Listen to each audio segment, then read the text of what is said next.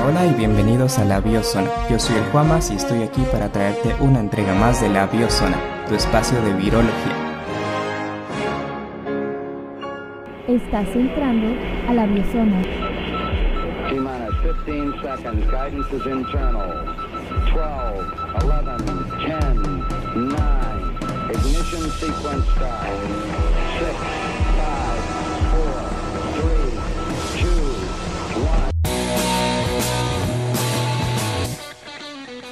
Y hoy estoy aquí con una invitada especial. Ella es Kat, Catalina, que nos justo nos va a hablar un poco de virus, porque la emisión pasada estuvimos viendo como cosas muy grandes en el espacio, estrellas de neutrones, que bueno, no son tan grandes si consideramos el resto de objetos del universo, pero en comparación con lo que vamos a hablar hoy es como del otro extremo, de lo más chiquito, de virus. Hola, Kat. Hola, muy buenas tardes a todos. Yo soy Kat, em, soy bióloga de la Facultad de Ciencias y actualmente estoy haciendo mi maestría en la UNAM en Ciencias Bioquímicas. Muy bien, hoy queremos que nos cuentes sobre los virus, pero así como para alguien que nunca ha oído qué es un virus, desde lo más básico hasta ya iremos a, a, lo más complejo de cómo se clasifican y cómo infectan una célula y demás, y cómo se estudian. Y antes de eso, ¿cómo fue tu camino a la biología? ¿Por qué decidiste estudiar biología? Porque queríamos hablar de eso también. Sí, bueno, de chiquita creo que realmente nunca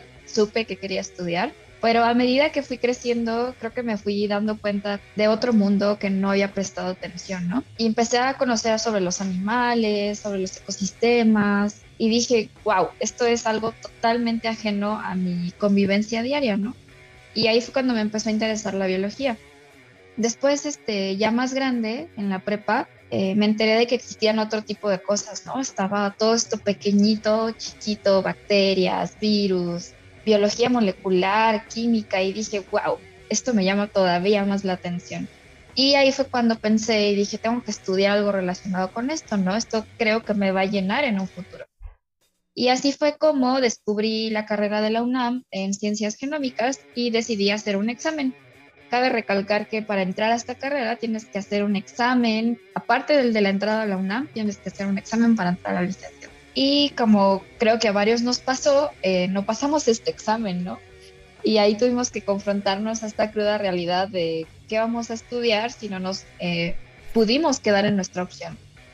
Y ahí fue cuando puse de opción biología, ¿no? Dije, ¿qué es lo más cercano a estudiar este, genomas, ¿no? A estudiar de qué están compuestas eh, los, los seres vivos. Y dije, pues qué mejor que estudiar a los seres vivos. Y ahí fue cuando decidí estudiar biología. Me parece una historia fascinante porque cuando yo iba a entrar a, biología, antes de eso también había como puesto el ojo en ciencias genómicas y creo que sí, a muchos nos pasó. Bueno, yo ni siquiera llegué a hacer el examen porque vi así como el temario y dije, mmm, estos símbolos no los entiendo, mejor biología. Bueno, un, el mecanismo era que estudiabas un año biología, entonces hice como el examen primero de biología y dije, bueno, en ese año me preparo, ¿no? Para el otro examen, pero poco a poco me fui enamorando también de la biología y me di cuenta que en realidad ese es el lugar en el que tenía que estar.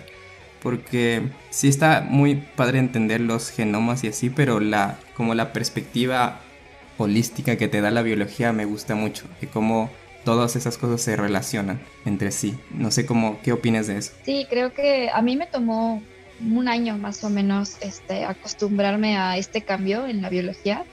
Y después de ese año, cuando se me presentó de nuevo la oportunidad para hacer el examen y para entrar a genómicas, dije no, no, no, no, no, ya me enamoré de esto, ¿no? O sea, no, no tengo espacio en mi corazón para meter ese tipo de cosas, sabiendo que puedo aprender tanto de muchas cosas en biología. Así que siento que valió totalmente la pena este cambio y lo agradezco. Entonces, pues estoy aquí donde estoy parada en este momento por ese cambio. Entonces, vale la pena. Sí, creo que ahí dijiste la palabra clave de me enamoré, porque es una de las cosas que he visto en todos los biólogos que he conocido en la carrera o incluso afuera. Te topas con alguien y te enteras que es biólogo, como que se nota que no nos gusta la biología, estamos como enamorados de todo lo que hacemos y de lo que vemos y de la biología en general. Creo que esa es una de las características. Sí, por supuesto. Y ahora pues declaro mi amor abiertamente a la biología, ¿no? Creo que haberme acercado a este campo me abrió otro, otro mundo chiquito, precioso, que es de lo que les quiero platicar ahorita, que sé que les va a encantar.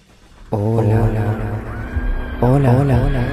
Ay, ay, ay, Ven, ven, ven, ven. Entra, Entra a la biozona. Si quieres formar parte de la biozona, envía un correo a contacto arroba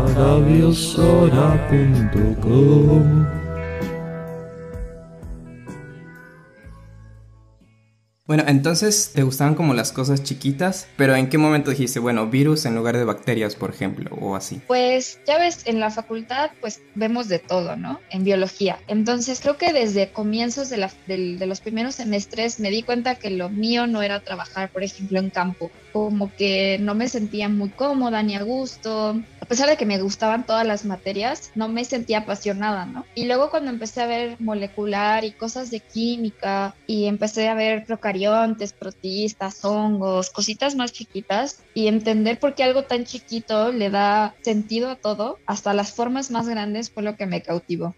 Y así fue como dije, no, tengo que hacer algo molecular y para hacer algo molecular pues tengo que meterme por caminos que me lleven a lo molecular, ¿no? Y ahí fue como llegué a, este taller, que son las dos materias que se imparten en los últimos semestres de la facultad de, en biología, y decidí tomar este taller que se imparte en el Instituto de Biotecnología de la UNAM. Y en este taller nos dieron la oportunidad de conocer muchas líneas de investigación que se hacen en la UNAM, en el IBT. Y raramente eh, una de esas líneas no era virología, hasta que se nos presentó la oportunidad, terminando la licenciatura, de escoger un taller o un laboratorio donde pudiéramos hacer nuestra tesis y ese lugar, una de las ofertas que ellos proponían era un laboratorio de virología. Y yo dije, wow, nadie hace esto en México. Son cosas bien raras, súper extrañas, hacen cosas súper ajenas a lo común. Necesito conocer de esto. Y ahí fue cuando, sin saber más que lo común de virus, dije, necesito conocer más y me metí a hacer mi tesis de licenciatura en un laboratorio de virología. Wow, eh, aparte de licenciatura, entraste como, venga con los temas difíciles, yo puedo con esto. Sí, fue una jugada, ¿no? Como al aire, pero valió totalmente la pena. Aquí sigo, sigo en el mismo laboratorio, ahorita haciendo virología súper encantada con mi proyecto, entonces, este, y cada vez pues con esto de la pandemia también vemos cosas que son totalmente nuevas para todos, ¿no? Y creo que está padrísimo estudiar algo que, que se sabe poquito y que podemos todavía conocer mucho más, como todo en biología en realidad. Y en biología.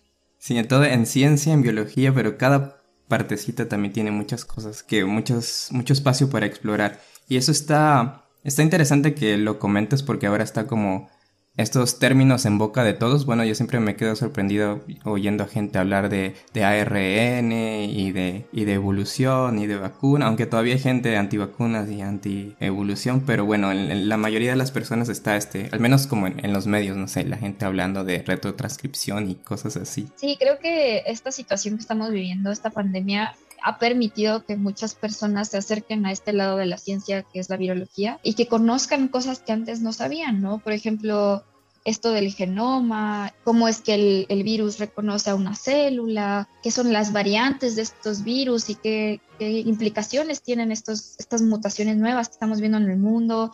Está padrísimo. Yo creo que lamentablemente la situación no es buena para la humanidad, pero para nivel conocimiento ha, aportado mucho. Sí, estamos a un nivel que nos permitió secuenciar el virus muy rápidamente y también estamos viendo la evolución en tiempo real. Y bueno, que quiero meterme un poco más en eso, pero antes de eso tenemos que como que poner en contexto, ¿no? Desde, desde abajo de qué es un virus. Claro, pues un virus lo podemos definir como un parásito intracelular obligado es decir, son entes, por así decirlo, que se pueden catalogar como vivos o no vivos, dependiendo de la persona a la que ustedes le pregunten, que lo que van a hacer es secuestrar a la célula y ocupar la maquinaria celular para producir más progenie, es decir, más copias de ese mismo virus parental. Y antes de eso, por ejemplo, yo no sé nada de biología y yo solamente sé que hay microorganismos, ¿no?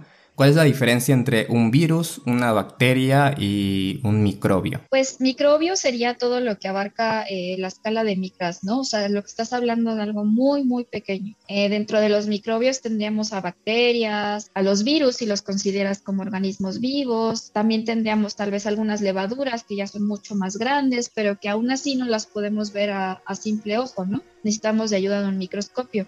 Entonces, un, un microbio es cualquier cosa chiquita, cualquier cosa viva chiquita, que no veas. Chiquita que, que no puedas ver así directamente con tu ojo, ¿no? Y por otro lado, las bacterias serían estos organismos que tienen este, ya sea una pared o una membrana celular, tienen un genoma que este genoma se transcribe, se traduce y produce proteínas y además tienen un metabolismo activo, ¿no? Tienen la capacidad de producir energía y de utilizar esa energía para llevar a cabo diferentes funciones que están relacionadas con su metabolismo. Por otro lado, los virus, a pesar de que tienen este su genoma que les permite producir proteínas, ellos no pueden producir proteínas a no ser de que estén en el ambiente celular, ¿no? Es por eso que existe esta controversia de vivo o no vivo, pensando en que a fuerzas para replicarse requieren de un huésped. Sin ese huésped no, son, no, tienen ni ningún tipo de actividad. Son como una maquinaria molecular muy compleja más que vida, ¿no? Están ahí como el, en la mitad. Así es, yo, claro, yo los consideraría así, ¿no? Como una maquinaria muy especializada para, su para cada uno de sus huéspedes y, y eso. Sí, porque generalmente si la pregunta es como, ¿y los virus están vivos o no? Y está el meme ese de del guasón que está con cara de no lo entenderías. Pero no sé, o sea, si es así en, así en directo, ¿qué dirías? ¿Están vivos o no? Yo diría que no son organismos y por ende no están vivos. Diría que son una maquinaria de la evolución que de alguna manera llegó a este estado parasitario. Pero creo que cada vez vamos descubriendo nueva información sobre nuevos virus que nos podrían ayudar a complementar diferentes teorías sobre el origen de los virus y esa información tal vez en algún momento de la ciencia nos permita decir, ok, son organismos o no son organismos, ¿no? Espero que ese momento llegue pronto. Y bueno, tenemos entonces que hablar de qué está compuesto un virus y tipos de virus. O sea, un virus lo podemos ver como una cápside con material genómico adentro. ¿Es, es todo lo que hay o hay como más cosas que debamos saber de cómo está compuesto un virus? Claro, los virus se componen de la parte estructural y de la parte no estructural, ¿no? Si hablamos de la parte estructural, estamos hablando de ya sea las proteínas que forman su cápside, y cápside usualmente lo podemos dividir en, tres componentes. Eh, la parte de las espículas o spikes, que son las que reconocen al receptor celular. Luego tenemos al core, que son las proteínas a las que se unen esas espículas. Y algunos virus tienen la capacidad de tener una, envoltura lipídica y estos son los que se llaman virus envueltos. Por ejemplo, casos, eh, perdón, ejemplos de virus envueltos tenemos a, a, influenza, por ejemplo, o a VIH. Entonces tenemos como una, esta maquinaria que tiene básicamente tres, bueno, todavía no hemos hablado del, del genoma, pero está dentro. En la parte de afuera es como una, la cápside, es una palabra importante, cápside, es como el, el, el cascarón del virus, ¿no? Entonces está tiene estas espigas que me imagino que todos los virus tienen porque necesitan pegarse a la célula de alguna forma. Entonces todos, me estoy imaginando que todos tienen alguna forma de la espiga. Y el, el core, que es proteína igualmente, y no todos tienen la envoltura eh, lipídica. Así es, esos serían los componentes estructurales del virus. Y, adentro, ¿qué tiene? Y hablando del no estructural, eh, usualmente está, por supuesto, el genoma, y los genomas virales son muy diversos, de hecho existe una clasificación para, estos diferentes tipos de genomas. Y lo más importante es que estos genomas tienen la información para codificar a proteínas que les van a ser muy necesarias para su ciclo de replicación. Hay algunos virus que además de tener su genoma, tienen algunas proteínas pegadas a su genoma. Y estas proteínas también son importantes para su ciclo de replicación. ¿Cómo qué proteínas serían estas? ¿Como polimerasas y así? No, usualmente las polimerasas vienen codificadas dentro del genoma. O sea, ya forman parte de algún marco abierto de lectura que codifica para su propia polimerasa. Pero Me refiero, por ejemplo, en el caso de los virus que yo estudio ahorita en mi maestría, que son los astrovirus, estos virus suelen tener una, proteína unida a un extremo de su genoma y no se conoce bien su funcionalidad, pero por ejemplo, si tú impides que esta proteína se una al genoma, el virus ya no puede eh, replicarse. Entonces se ha visto que hay proteínas que están unidas a este genoma en, en muchos virus que son esenciales para que este se pueda replicar dentro de la célula. Oh, ok. ¿Y cuál sería la relación entre estas proteínas y, por ejemplo, un factor de replicación, por ejemplo? O otras de estas proteínas que están en, en eucariontes, o sea, en el genoma de células vivas. ¿Sería como algo análogo o nada que ver? Yo diría que nada que ver. Porque, por ejemplo, si estás hablando de un virus que tiene un genoma de RNA positivo, es decir, es como un mensajero, ¿no? Es como un RNA mensajero. Es decir, va a entrar a la célula y la célula va a decir, hay un mensajero, lo voy a traducir. Y luego, luego lo traduce. Entonces, no es que haya factores o algún tipo de proteína que le diga a la célula que tiene que traducir esas proteínas o transcribir ese genoma, ¿no? Sino que la misma evolución del virus le ha permitido que con solo entrar a la célula se inicie una cascada de señalización que comience el ciclo de replicación. Con solo entrar a la célula, entonces ahí está como el kit de la cuestión, ¿no? De cómo entra el virus a la célula. Ahí está lo padre, ¿no? También los virus a fuerzas para entrar a la célula deben ser reconocidos y para ser reconocidos este, utilizan receptores celulares. Está súper padre que usualmente se reconocen carbohidratos o algún tipo de azúcares y así es como se da el proceso de internalización de la partícula viral hacia dentro de la célula. Y bueno, los receptores celulares varían ampliamente entre el, tipo de virus que estemos hablando, pero cada virus tiene su receptor específico. Y podríamos decir que esto es lo que le da la particularidad al virus en términos de, bueno, ya estaría hablando de enfermedades y efectos que causa el virus en el organismo. Porque así actúa en diferentes receptores, actúa como en diferentes células y las ataca de diferente manera. Claro, es, eso es fundamental, ¿no? Eh, si tú conoces el receptor al que se une la célula, vas a saber qué línea o tipo celular está infectando, ¿no? Y mm, eso es parte de la investigación básica sobre conocer a un virus, ¿no? ¿Qué tipos celulares puede infectar? Implica a los receptores que está reconociendo. Entonces es una parte importante también del ciclo de replicación. Eso está interesante. Y después veremos con el coronavirus, por ejemplo, que se sabe que el receptor es el ACE2 pero eh, primordialmente en las vías respiratorias se encuentra, pero está como distribuida en todo el cuerpo, ¿no? Por eso está como causando ahí estragos por efectos raros también, ¿no?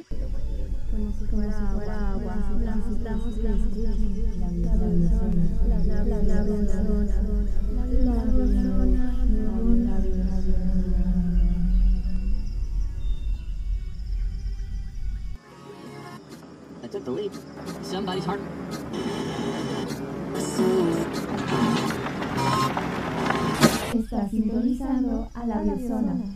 Me gustaría hablar de taxonomía y hablar sobre algo que, por ejemplo, hoy me llamó mi abuelita y me dijo, ay, encontraron una nueva cepa en África, ¿no? Bueno, la de Brasil, perdón, que está súper poderosa. Y yo, no, abuelita, eso no es una cepa, es una variante.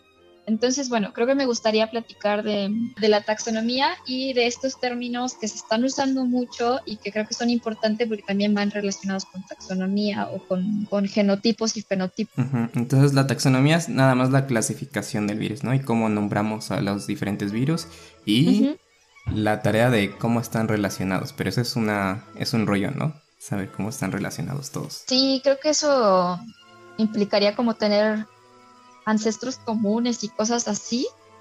Y, pero lo voy a platicar ahorita. Por ejemplo, recientemente que tenemos esta información de bases de datos de genomas ha permitido definir clados.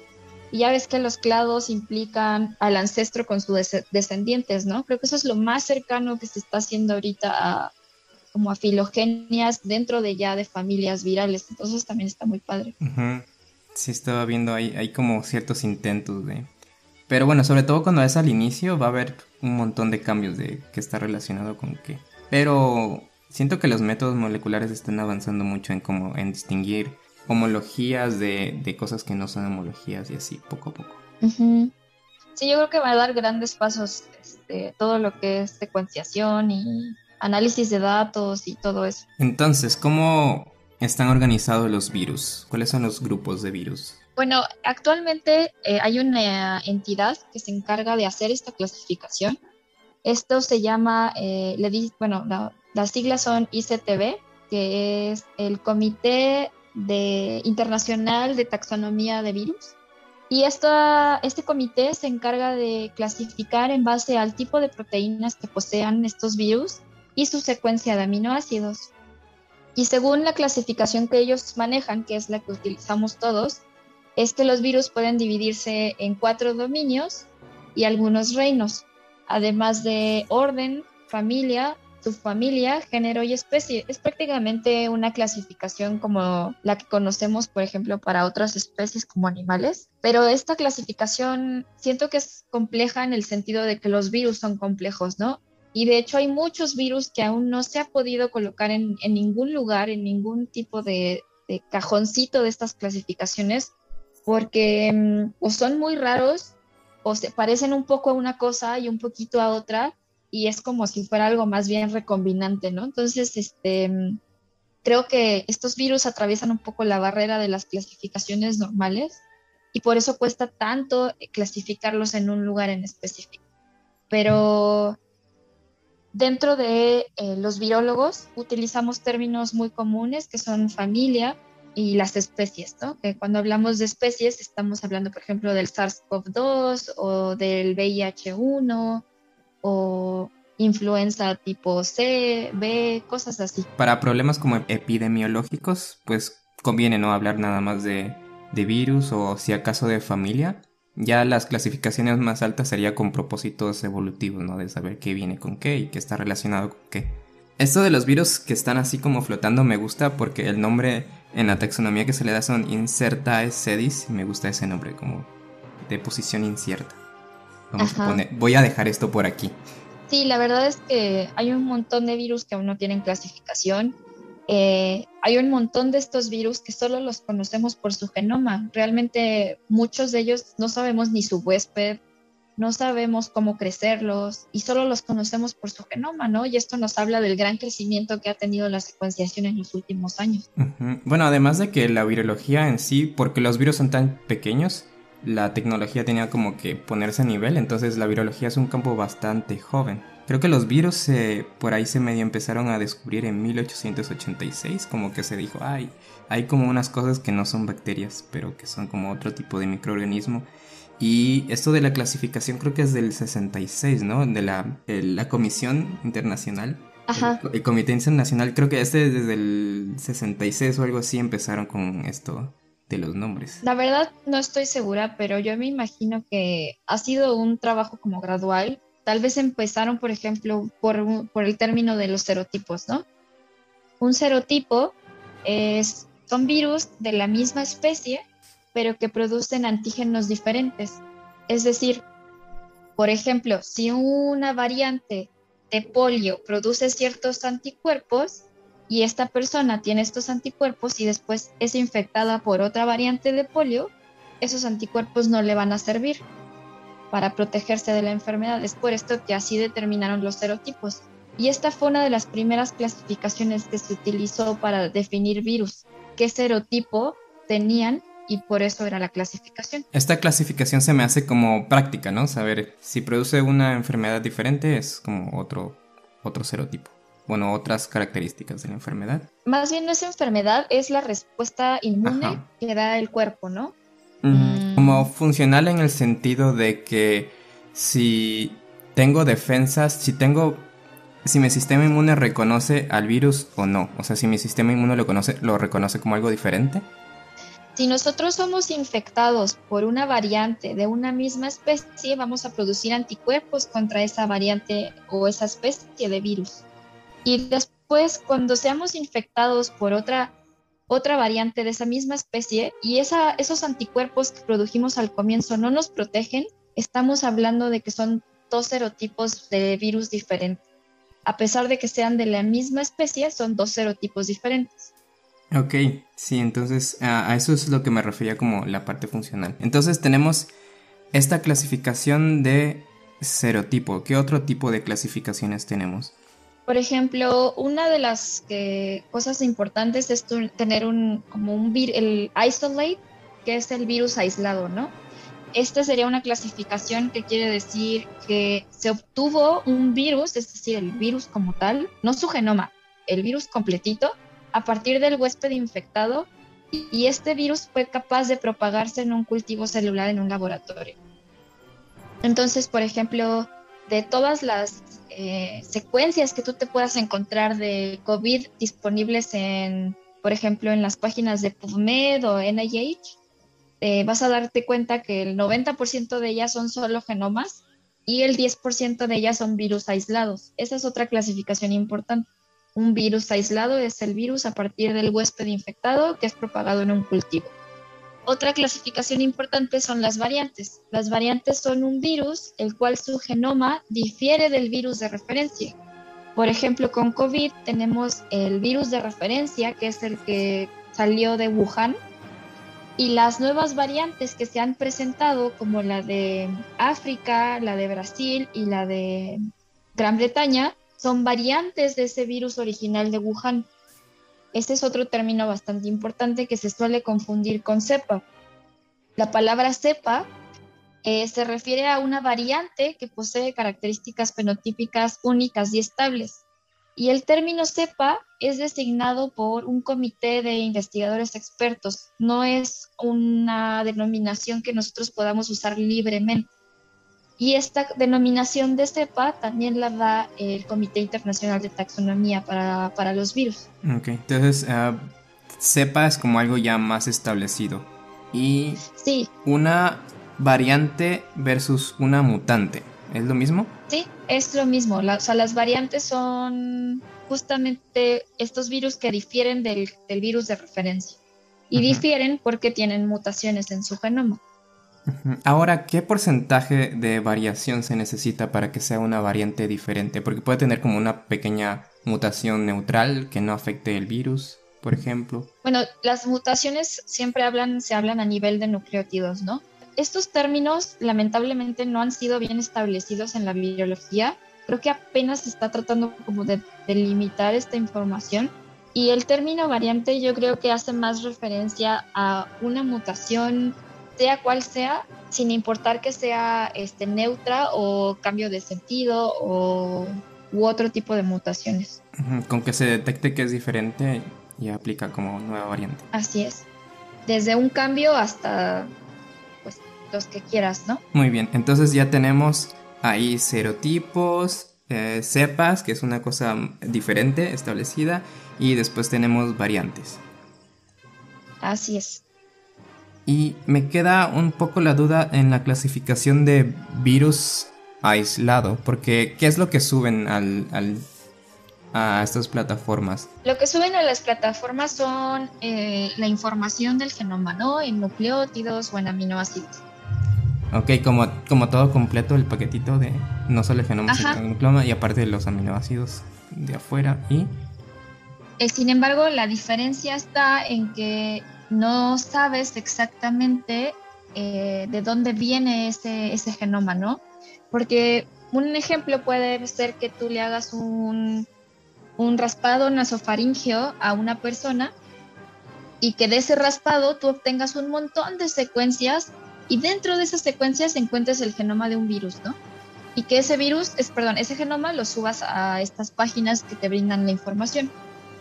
Pero otra cosa diferente es que tú tomes una muestra de nasofaringea y crezcas lo que está en esa muestra. Y que en esa muestra tú tengas al virus creciendo y separado de todo lo demás, eso tendría que tener al, al- al virus aislado. Es decir, es como el virus en persona, ¿no? Como que ya lo domesticas, por así decirlo. Sí, o sea, ya lo tienes tú guardadito en un tubito de Pendorf en tu refrigerador. Ese es el aislado, es el virus este, físico, pues. Listo para bioterrorismo. Claro, listo para utilizarlo donde tú quieras. Ok, bueno, entonces tenemos esta, esta clasificación y ¿de qué otra clasificación tenemos por ahí? Pues creo que mm, creo que eso sería todo en términos de clasificación. Más bien, Sería como hablar de como familias, como grupos grandes, ¿no? ¿O no? Pues es que, mm, o sea, grupos grandes, ¿Como familias importantes o así? es que depende de quién hables, ¿no? Si hablas de familias importantes para humanos, pues hay varias de importancia médica, ¿no? Pero supongo que para los que estudian plantas, este, hongos, también hay familias importantes. Ajá, cada quien tiene su familia de virus. Ajá, favorita. Pero sí, es, hay un montón de familias. No estoy, no, no tengo certeza de cuántas son, pero son muchas. Eh, y deben haber muchísimas más que desconocemos, ¿no? Bueno, pero, ah, me ya me acordé, había algo con la- los tipos de virus, según, ajá, como los tipos grandes, los que tienen ADN, los que tienen ARN, los que tienen doble cadena, una cadena. Ajá. Sí, em, ot- otra de las clasificaciones que también fue de las con las que comenzaron a clasificar los virus cuando ya se tuvo la oportunidad de conocer cómo era el genoma, aparte del serotipo, fue la clasificación de Baltimore. Esta clasificación que la hizo este personaje permitió diferenciar a los virus en siete grupos dependiendo de su tipo de genoma. Por ejemplo, en los virus de DNA tenemos a los de DNA de una cadena o a los de doble cadena. Tenemos otros grupos que son los grupos de RNA, donde están los que son de doble cadena, de cadena positiva sencilla o de cadena eh, negativa sencilla. Y por otro lado tenemos a los tanto de RNA o DNA que son retrotranscritos, es decir, que tienen la capacidad de pasar ya sea de RNA a DNA o de RNA a DNA. Oh, y me imagino que no, pero igual voy a preguntar, ¿hay algún tipo de patrón en, en las filogenias, así de los virus de ARN pues, de una sola cadena, por ejemplo, que infecten solo algún tipo particular de taxón? ¿O algún otro tipo de, patrón, cualquier patrón que haya por ahí? Mm, que yo sepa, no. No es como que digas, ay, sí, todos los de RNA de cadena positiva infectan solo a humanos, ¿no?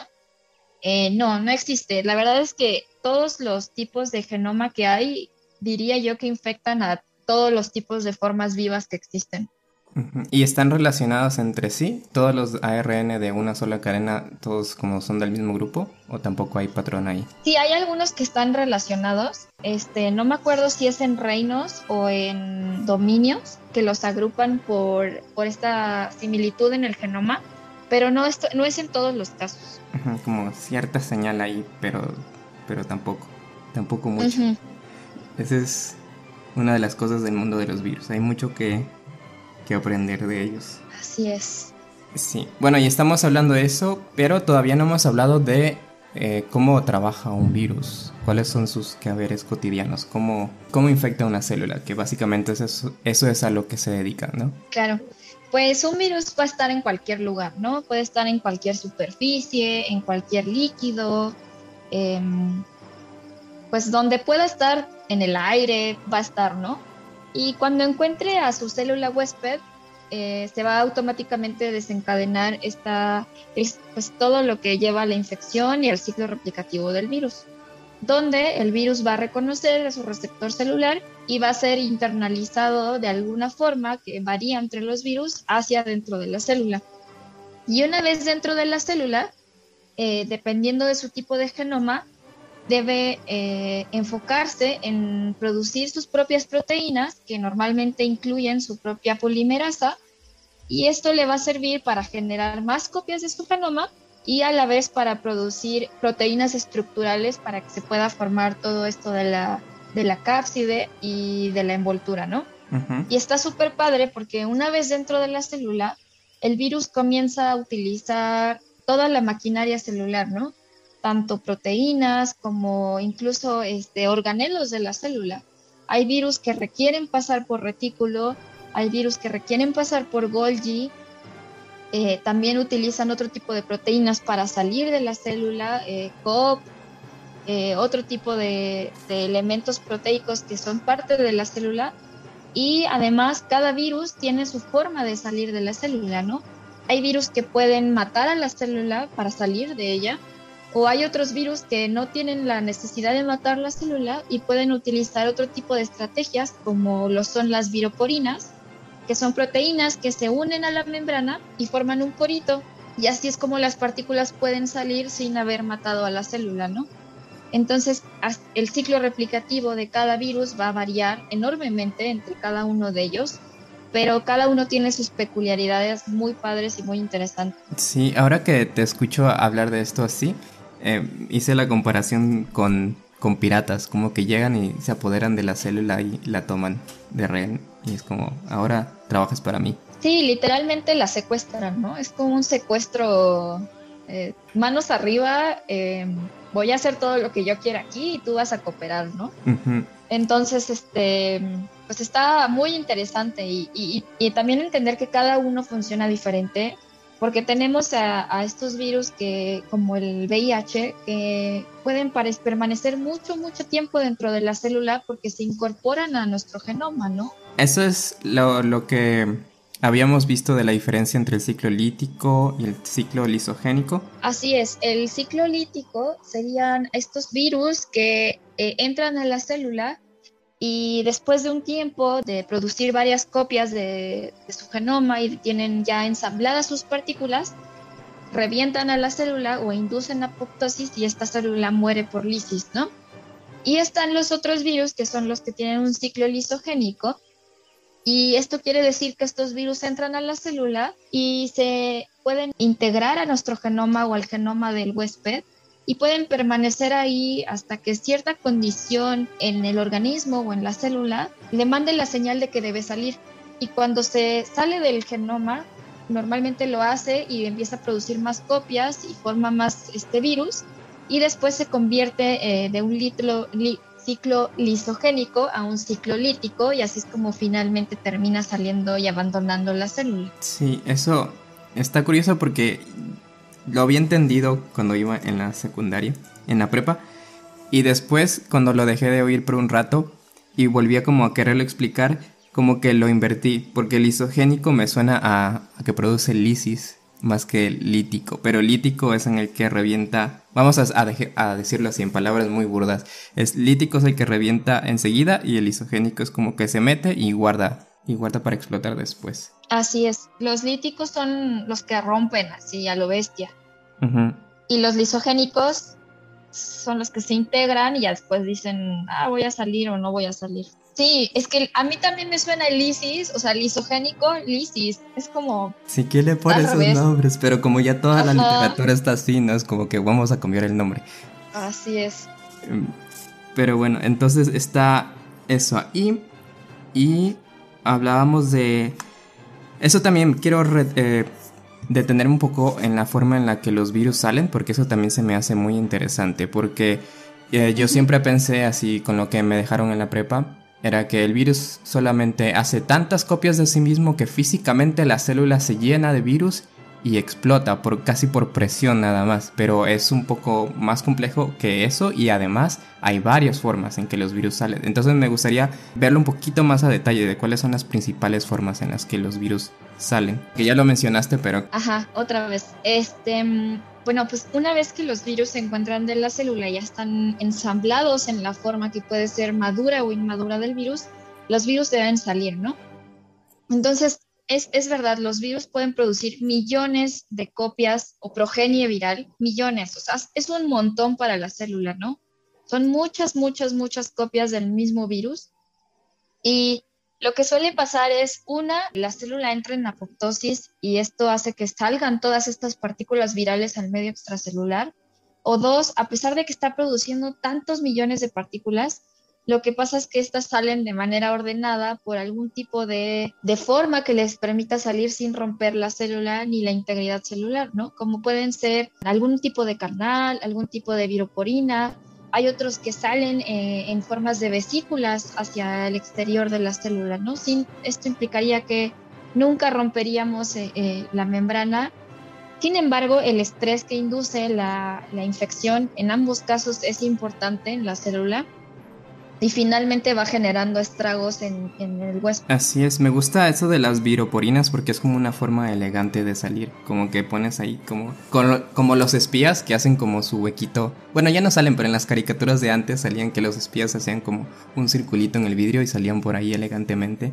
Y eso me suena como lo que hacen las, las viroporinas. Sí, y seguramente hay muchas más formas de las que puedan salir. No las conozco, pero deben tener formas muy elegantes. Sí, y cosas que aún no hemos descubierto también. Pero pues todo eso, esas miles de copias, pues es un montón de energía, ¿no? Que está, que está gastando la célula a lo menso. Ajá, bueno, pues está secuestrada, ¿no? No tiene muchas opciones. no es como que no puedo poner resistencia. Así es. Sí, porque el sistema inmune generalmente trabaja como neutralizando el virus antes, ¿no? No hay forma de que se detenga la infección una vez que comenzó dentro de la célula. Esa célula ya está perdida. Claro, o sea, ya que está dentro eh, de la célula, pues no tiene mucho que hacer el sistema inmune, ¿no?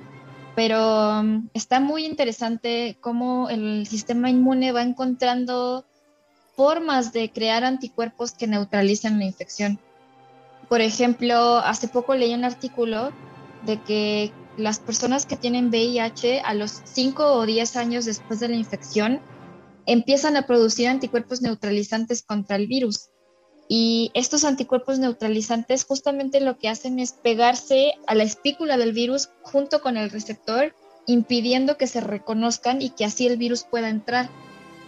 Entonces está padrísimo conocer este tipo de respuestas porque así en el futuro Podríamos, por ejemplo, hacer inmunizaciones a la población con este tipo de anticuerpos para que en caso de que se encuentren con eh, el VIH puedan eh, contender contra la infección, ¿no? Pero aún hay muchas cosas por estudiar eh, y por eso también el VIH es un virus muy complicado que aún no tiene este, cura. Sí, esa es una, una de las cuestiones, pero por ahí hay una cuestión con las vacunas de ARN, todavía no me quiero meter a eso, pero, pero sí, por ahora no, no hay cura. Y bueno, ¿qué crees? Se nos está acabando el tiempo, entonces tendremos que hacer otro episodio para hablarnos, eh, para que nos hables de las cosas que nos quedan pendientes, porque por ahí queremos saber eh, cómo es tu trabajo, cómo se trabaja con virus y cómo hiciste tú tu trabajo de licenciatura y demás, y un poquito que no hablamos de la teoría sobre el origen de los virus. Eso nos queda pendiente para una siguiente emisión. Super, pues tenemos muchas más cosas de las que hablar. Sí, entonces nos vemos la siguiente eh, semana. Estén al pendiente porque esto continúa. Recuerden que somos la Biozona y que somos todo un equipo. Tenemos aquí a la galleta Maris que nos ayuda a preparar los episodios. Tenemos a Aileen que es nuestra community manager y está ahí en el Twitter escribiendo cosas muy interesantes sobre astronomía y contestando todas sus preguntas y sus mensajes. También tenemos a labiozona.com. Recuerden pasar por ahí para leer nuestro último blog y tenemos un equipo de colaboradores que está ahí. Tenemos a Depresión Sináptica que nos ayuda escribiendo sobre la célula, sobre el cerebro, ABS Raida que escribe sobre bacterias tenemos a Luciferasa que escribe sobre química, al Macarodonte que escribe sobre temas de biología y te puedes unir a este equipo de colaboradores escribiéndonos un, mensaje al Twitter, a, Instagram o a contacto arroba Y también para escribirnos mensajes de, saludos de oigan me gustó la biosona, no me gustó la biosona, contacto arroba eh, nos ayuda mucho que, nos manden mensajes para saber que están escuchando.